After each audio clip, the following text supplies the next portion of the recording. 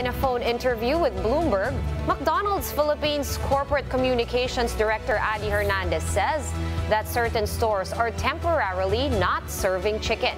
Hernandez said that while the government is accurate in saying that there is no shortage of poultry, they still need to uphold certain standards for their products. Likewise, Jollibee Foods Corporation says that a small number of Jollibee and Mang Inasal stores are also not able to serve chicken, although the company claims that chicken supply is already improving. Recall that last month, the Agriculture Department insisted that there is no shortage of chicken supply in the Philippines.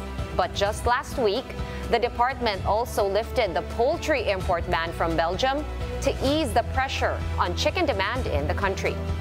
Data from the DA also showed that whole chicken prices in Manila have gone up by 25% to 200 pesos since the start of 2022.